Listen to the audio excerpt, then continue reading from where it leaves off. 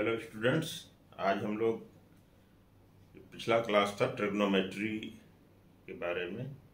उसमें आगे बढ़ते हुए आज हम लोग हाइट एंड डिस्टेंस की बात करेंगे। Means the application of trigonometry कहाँ पर इसका प्रयोग होता है? कौन लोग करते हैं? तो हाइट और डिस्टेंस में जैसे बहुत बड़े बड़े पहाड़ों की हाइट मीनार की हाइट बिल्डिंग्स की हाइट जिसको हम फिजिकली भौतिक रूप से नाप नहीं सकते हैं तो ट्रिग्नोमेट्री के फार्मूलाज के आधार पर उसकी हाइट हम लोग ज्ञात कर सकते हैं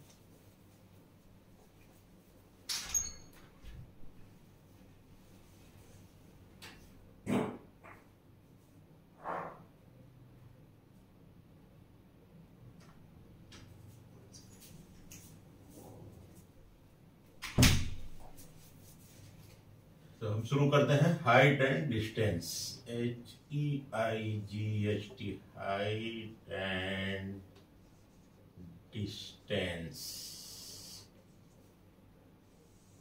ये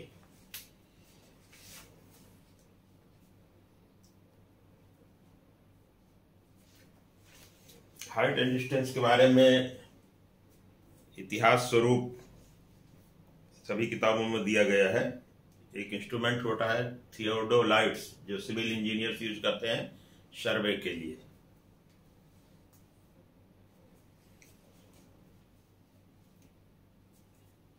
और इसी थियोडोलाइट की मदद से जब हमारे यहाँ ब्रिटिशर्स थे 1852 में इसका आविष्कार करके और सबसे बड़े पहाड़, एवरेस्ट की चोटी की हाइट की गणना की थी। तो ये उनका नाम था, जो साइंटिस्ट थे, मिस्टर यूरेस्ट, उन्हीं के नाम पर इस चोटी का नाम रखा गया। चलिए तो हम मैथ की बात करते हैं, इतिहास की नहीं। तो हाइट एंड डिस्टेंस सपोज़ करो कोई मीनार है, जैसे कोई स्तंभ है, ये मान लीजिए स्तंभ है, ये ये ग्राउंड लेवल है।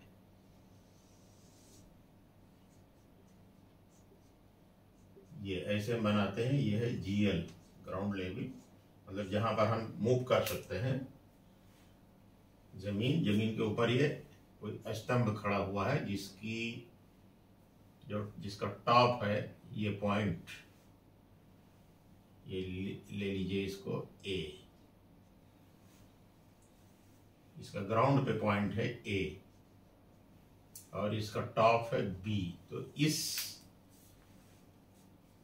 हाइट को हम कैसे मेजर कर सकते हैं? इस मीनार let it is a minar A B मान लो कुतुब मीनार है। Let it be Qutub Minar. Let it be minar. माना एक मीनार है तो बिना नापे हुए इसकी हाइट कैसे? बिना मेज़रमेंट किए हुए, क्योंकि हम मेजर कर नहीं सकते, बहुत ऊँची है। इस पे चल नहीं सकते आसानी से तो आसानी से कैसे डिसाइड किया जा सकता है? तो ये मान लीजिए यहाँ पे कोई आदमी खड़ा हुआ है। आप यहाँ हैं, आपकी हाइट है ये ये आपकी आँख की हाइट है, और आप इसको यहाँ से देखते हैं। इसको, इस पॉइंट को टिप को बी पॉइंट को देखते हैं यहाँ से। ये मान लीजिए ए बी ये मान लीजिए सी पॉइंट है। ये आपकी आँख का पॉइंट है। और ये देखते हैं सीधा तो यह एक लाइन बनती है साइड। इसको कहते हैं लाइन ऑफ़ साइड। ये ये बी पॉइंट को देखते हैं तो एक सीधी रेखा बन गई। अब ये हाइट है, हाइट, ये भौतिक रूप से लिया जा रहा है फिजिकली तो आपको समझाने के लिए कि आदमी खड़ा है उसकी आँख है और इसको देख रहा है। तो उसकी हाइट आदमी की हाइट निकाल दीजिए, यहाँ से इसको मिला दीजिए। मान लीजिए मीनार की हाइट से जो हाइट मान लीजिए डी पॉइंट है। ये सी डी लाइन है, ये एफ़ पॉइंट है। सी एफ़ जो है हाइट ऑफ़ द पर्सन है। तो आदमी की ऊंचाई है, आँख की ऊंचाई। और यहाँ से देख रहा है तो ये ट्रेंगल आपका बन गया। जो ट्रेंगल बना C D B triangle triangle का नोटेशन ऐसे लिखते हैं। ट्रेंगल का छोटा ट्रेंगल बना। ट्रेंगल सी डी बी एक समकोण है राइट एंगल समकोण, ये त्रिभुज जो है, समकोण त्रिभुज है।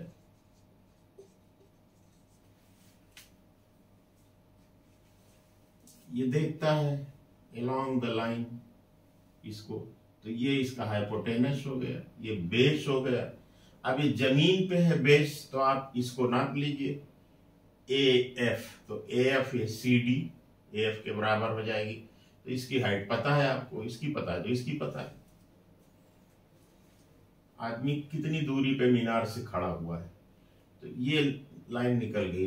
ये एंगल पता हो जाएगा, क्योंकि हॉरिजेंटल से इसकी लाइन ऑफ़ साइट जो है कितना एंगल बनाती है? मान लो थीटा है। तो ये फार्मूला है। आपको ये ए बी निकालना है। तो ए डी तो पता ही है। अब डी बी ट्रेंगल से ट्रेंगल सी डी बी से, सी डी बी से डी बी निकल जाएगा। तो ये टेन थीटा जिसमें ये भी आ जाए, ये मालूम है तो ये आ जाए। तो हम ये लिखेंगे ट्रिग्नोमेट्री का formula tan theta is equal to B D divided by C D तो पता चल जाएगा। ट्रिग्नोमेट्रिकल टेबल से थीटा का मान पता चल जाएगा, निकल जाएगा। एक एग्ज़ाम्पल ले लीजिए जिसे सिंपल जिस थीटा का आपको पता है कितना होता है। मान लो ये साठ डिग्री है लेट इट बी माना ये साठ डिग्री आता है। उदाहरण के लिए तो टेन साठ tan sixty degree is equal to B D बटे C D B D divided by C D और मान लो कि ये पचास मीटर पे खड़ा है। माना ये पचास मीटर है। सी डी की लंबाई, मीनार से आदमी जो है पचास मीटर की दूरी पे खड़ा है। तो पचास मीटर की दूरी पे खड़ा है तो ये सी डी हो जाएगा पचास। B D by C D और इसकी वैल्यू हो जाएगी रूट थ्री तो बी डी ये फिफ्टी हो जाएगा। तो इससे simply B D is equal to root three times और सी डी सी डी रख लो अभी सी डी तो जितनी दूरी पे खड़ा है, उसका रूट थ्री टाइम्स जो है, यहाँ से ये हाइट होगी, और उसमें इस आदमी की हाइट जोड़ दीजिए तो मीनार की हाइट निकल जाएगी। वेरी तो सिंपल अगर ये फिफ्टी है तो root three into fifty metre root three की वैल्यू रख दीजिए approximate value one point seven into fifty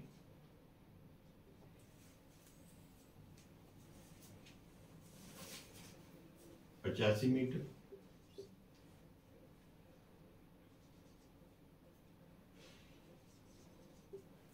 तो बीडी आपकी मीनार की हाइट बीडी और जो उसकी एच और जोड़ दीजिए, जितना एक डेढ़ मीटर का आदमी होता हो तो मान लो। तो ये बी डी बराबर ए डी ए बी मीनार की हाइट ए बी मीनार की हाइट यानी मीनार। ये बराबर हो जाएगी, डेढ़ मीटर और जोड़ दीजिए six eighty six point five metre. ये इसका प्रयोग है। इसी प्रकार से अगर कोई ऊपर बैठा है, मान लो बहुत ऊँची बिल्डिंग के मल्टी स्टोरी पे बैठा है, उल्टा इसका हो सकता है। यहाँ आदमी यहाँ से देख रहा है, कोई आदमी यहाँ बैठा है, बस सिंपल सा इसको चेंज कर दीजिए। हाँ तो एक चीज़ और बता दें इसको, इसका टर्मिनोलॉजी इस एंगल को जो नीचे से ऊपर देखता है तो हॉरिजेंटल के साथ ये एंगल बनता है।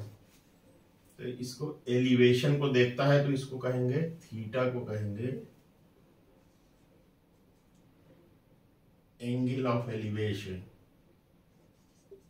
angle of elevate elevation Hindi में उन्नयन कोण उन्नयन कोण। ये हो गया। अब इसको मिटा देते हैं तो न्यूमेरिकल प्रॉब्लम है। समझने के लिए कैसे ट्रिग्नोमेट्री का प्रयोग होता है? बिल्डिंग मीनार पर्वत की चोटियों की हाइट ज्ञात करने में, किसी भी ऊँची वस्तु की हाइट ज्ञात करने में। अब देखिए, इसको एंगल ऑफ़ एलिवेशन कहते हैं थीटा को।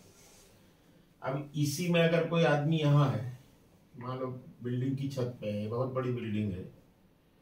बहुत बड़ी बिल्डिंग है और ये आदमी यहाँ खड़ा होके इसकी, ये हाइट है आदमी की, और यहाँ से ये देखता है।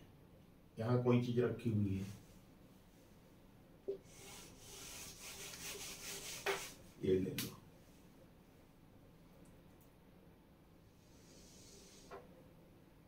ये आपकी ज़मीन है।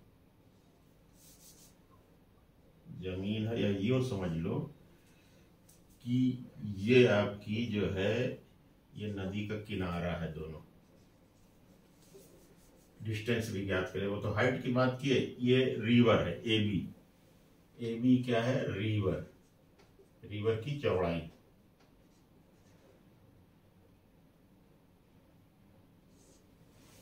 रिवर इतनी चौड़ी नदी है।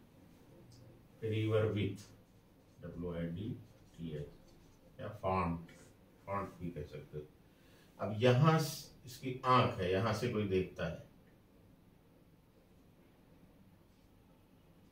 यहाँ से ये देखता है, यहाँ पे इस किनारे पे सपोज़ करो कोई बिंदु है, कोई छोटा घास फूस लगा है, कोई चिड़िया बैठी है तो ये यहाँ देखेगा। तो ये यहाँ से ये इसकी eyesight line of sight ये सपोज़ कर लो, यहाँ पे। ए पर। कोई पॉइंट है कि किनारे नदी के, वो देख रहा है। तो लाइन ऑफ़ साइड तो इसमें ये हॉरिजेंटल से, यहाँ भी हॉरिजेंटल से एंगल लिया था हमने, जब नीचे से ऊपर देख रहा है। यहाँ से, यहाँ भी हॉरिजेंटल से एंगल लेंगे। ये angle now this angle theta इसको एंगल ऑफ़, अंग्रेज़ी में कहते हैं depression, angle of depression, depress depress,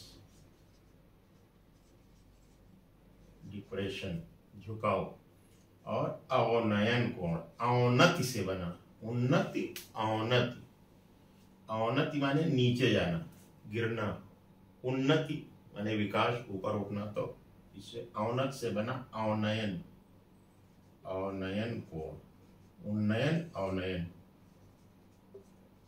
कोण एंगल ऑफ़ डिप्रेशन तो ये थीटा थीटा बराबर ये। एंगल ऑफ़ डिप्रेशन अंग्रेज़ी में ऑनयन कोण तो सेम थिंग ये है, कोई नदी है। और ये बिल्डिंग की, अब यहाँ पे बिल्डिंग की ये एच जो है हाइट पता है। सपोज़ करो ये।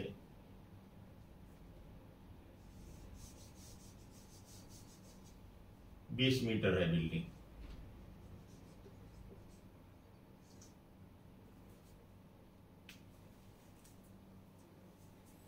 सपोज़ करो, आठ महले की बिल्डिंग है, बीस मीटर। और यहाँ से ये नदी की चौड़ाई है ए बी ए बी ज्ञात करना है। तो ये एंगल थीटा है तो ए एंगल भी थीटा हो जाएगा। क्यों? एक तो ये और ये पैरेलल है ग्राउंड है। ये जो लाइन एक्सटेंड कर दो, ये ग्राउंड है।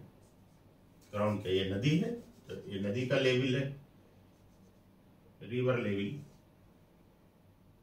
सपोज़ करो फुल बह रही है तो ये ग्राउंड लेवल तक है, पानी। ये एंगल ये लाइन ये हॉरिजेंटल और ये ग्राउंड पैरेलल है। ये त्रियक रेखा काट रही है एक स्लैंड तो this angle equal to this or this is 90 and this will be this is also whole 90 तो this is 90 minus theta then this is theta both way